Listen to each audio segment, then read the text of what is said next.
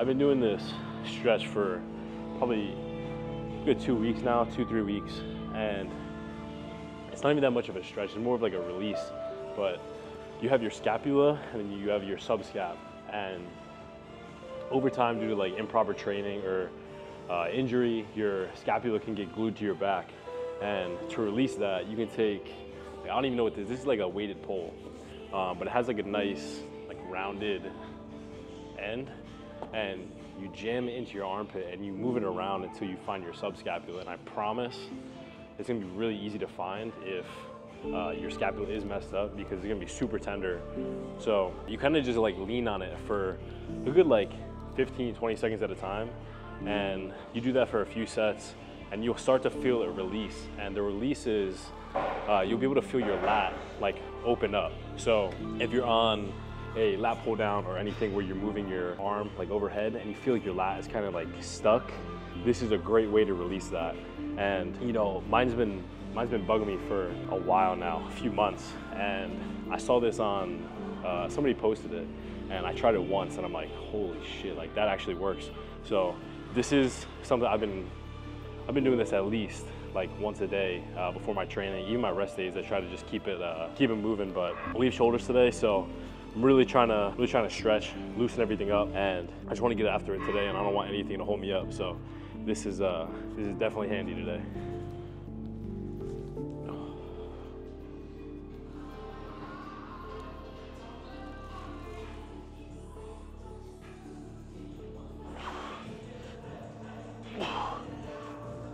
Doing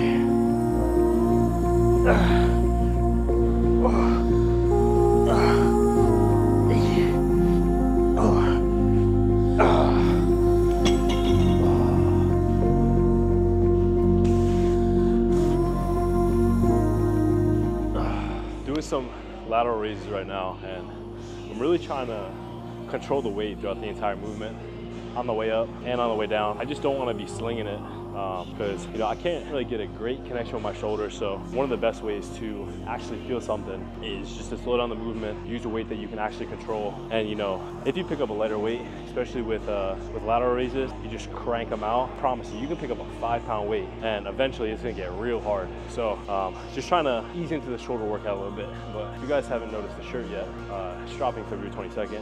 Code Vaughn. Um, super dope. Um, there's a bunch of other stuff dropping besides this, but this is probably one of my favorite items. It's like, if you like oversized t-shirts, this is an XL, but it's like perfect fit, great material, and you know, I don't know, I just really like it. So if you're trying to get one, like I said, February 22nd, Code Vaughn, save 15%. And uh, yeah, shoulders are feeling it though. They're already kind of pumped. One movement in, it's a great sign. So hopefully it's gonna be a good day.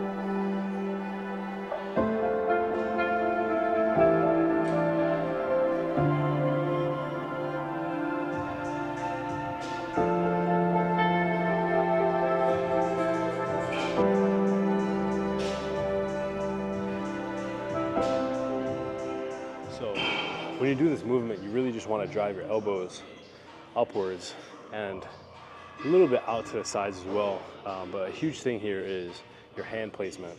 And there's like, you know, like the little checkered part of like a bar. Um, I forget the uh, I forget the name of it, but it's like the grippy part of it. If you look at these are just like little like dumbbell straight bars, and it has that that grippy feeling. So pretty much, I'll go to the edge of it um, on the inside, and a lot of my thumbs on the very very end of it. So it's kind of like this, and I'll do like a thumb width from the end.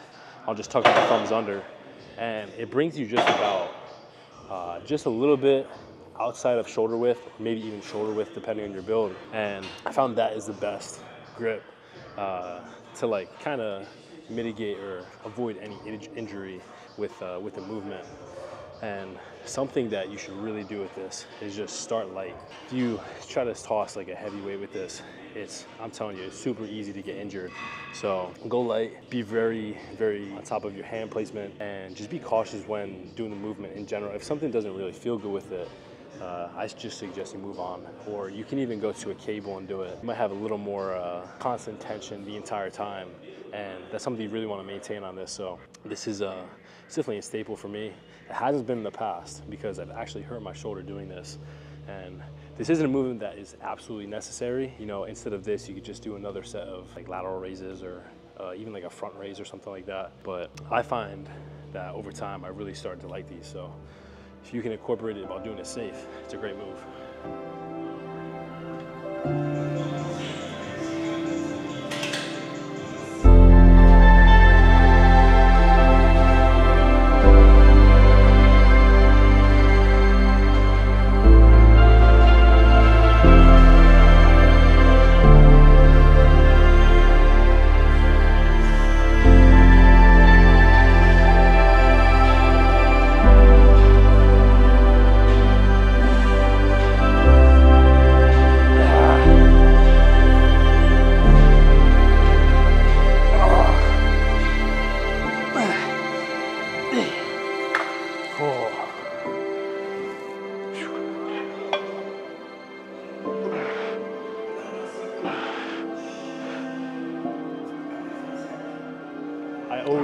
To warm up with something. Um, some sort of like cable movement, dumbbell, something to warm with the triceps before going to movement like this on close grip bench. And this is another movement where you don't want to keep your hands too close on the bar. Even though it's close grip, like you don't want your hands to be touching or even close to it. If you go somewhere just inside a shoulder width, I think that's like a really good range. Um, if you go any if you go any closer than that, it's gonna be like teeter tottering the whole time. It's gonna be real sketchy trying to actually move the weight. So uh, warming up, something light. Gonna go up to, I don't know, maybe 225. Nothing crazy, but I do wanna get a nice contraction, nice stretch. And uh, this is one of the best movements to get. Like if you ever see somebody with like huge triceps, like just a bunch of mass, probably doing close grip bench. So uh, this is something I'm starting to incorporate a lot. And uh, I do see little dis or little differences, but uh, the, the main thing that I'm seeing is I can feel my triceps a lot better uh, even on the warm-up sets. I know that I'm getting a lot stronger on cable movements, which is good, and it's definitely coming from this, so.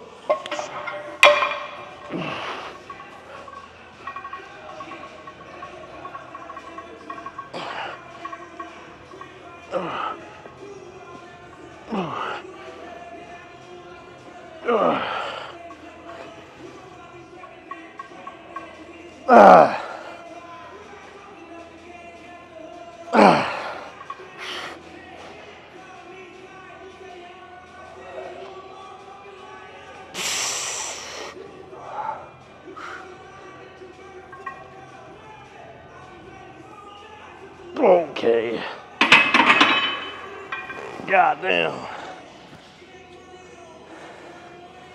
Whew.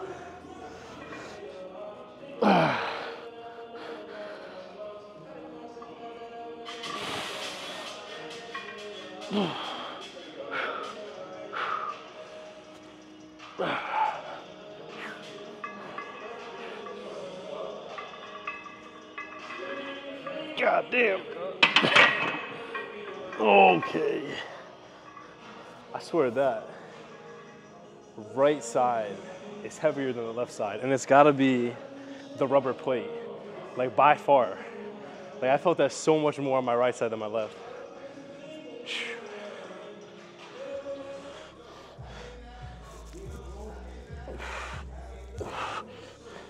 I usually do dips for chest, and today I'm doing it for triceps. And just like, I feel like a lot of things are correlated with triceps. Just the slower you go, the more you feel it. First set, had a little bit of a disconnect with my triceps, felt it more in my chest, but I slowed it down. And another cue that I was just thinking about, and I just did, it made a huge difference, was I try to keep my body more straight, at least like vertical, compared to when I'm doing a, like a chest focused dip. I'll kind of lean my body forward a bit and really just be able to get that stretch. But for the triceps, I feel like the best thing to do is be a little bit up and down and uh, just go slow with it. You'll feel it a lot.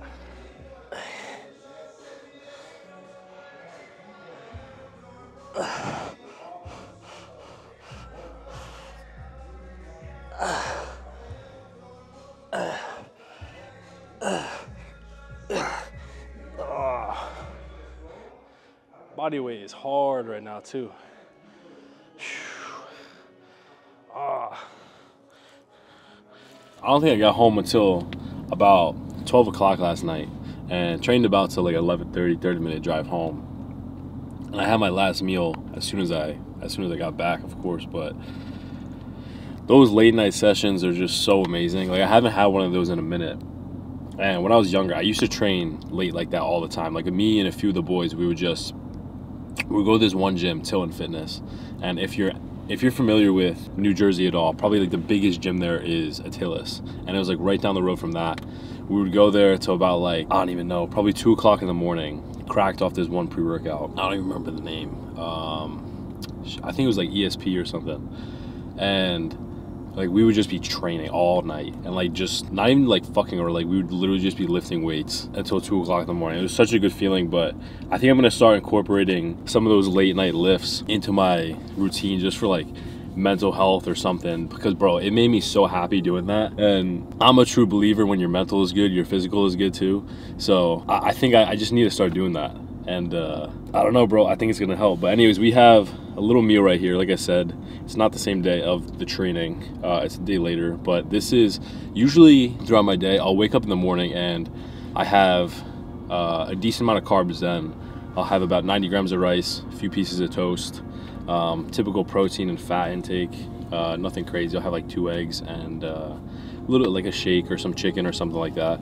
Um, and then for my next two meals, I usually I usually just eat my uh, like meal four and five, um, which is protein and fat and vegetables. So I am trying to cut down a little bit right now, and it's the best to cut down with uh, like either carb cycling or you know just like being in a deficit in general.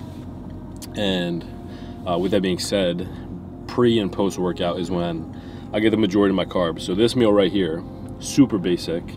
Uh, it's just chicken.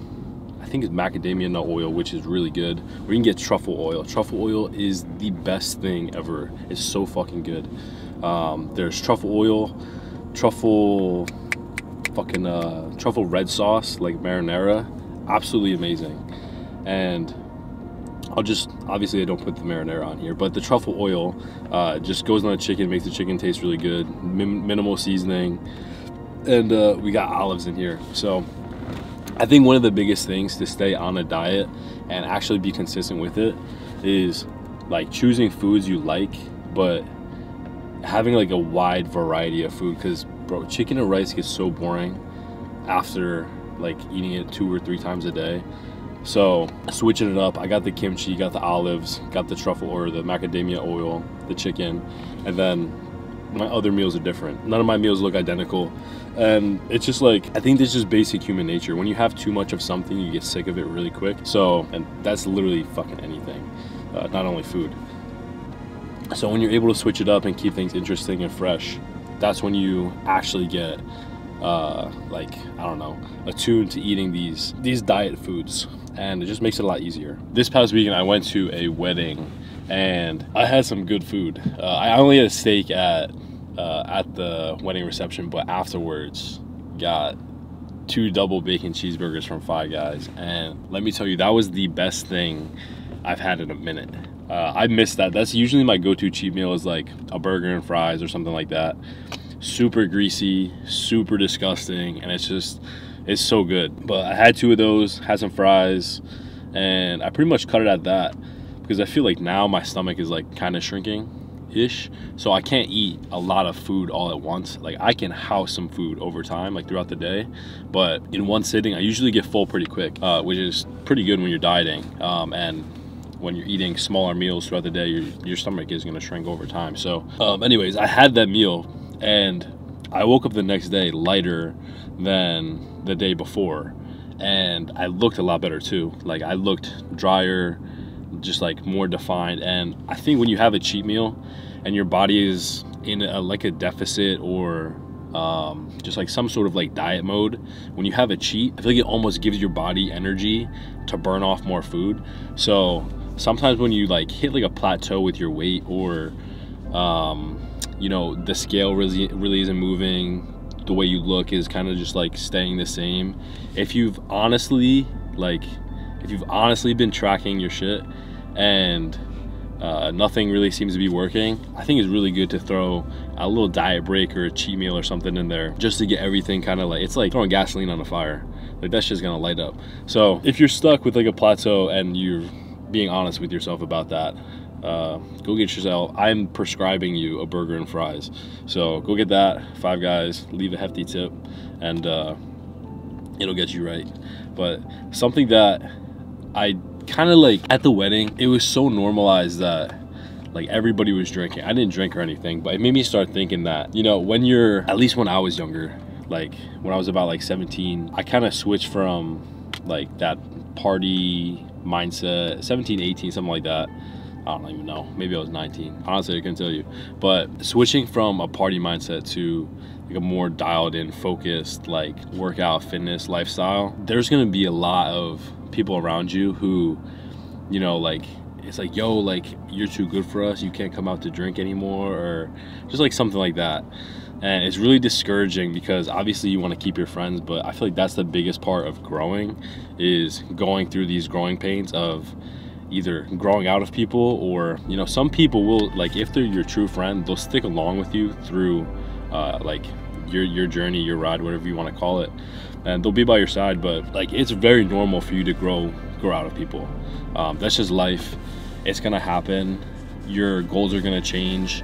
Your visions aren't gonna line up completely and you know if you're in that spot right now like I'm telling you, there will be a little sense of regret or a huge sense of regret when you're older. And you're looking back at that, like when you're 85, you're gonna be like, shit, I really wish that I didn't care about, you know, Johnny's opinion about me and I stuck with fitness and, you know, I chase after my actual goals rather than going out and partying and doing stupid shit. Because, you know, partying and doing stupid shit just gets you in trouble.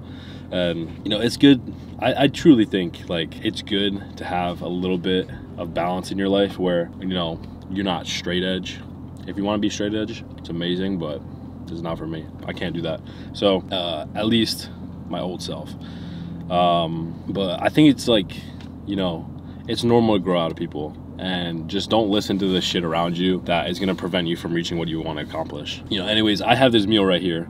I gotta finish it. But thank you guys for watching the videos. I really appreciate it. The support all around is just amazing. And remember, if you're having a bad day, it's just a bad day, not a bad life. And overall, just thank you for tuning in, and I will catch you in the next one.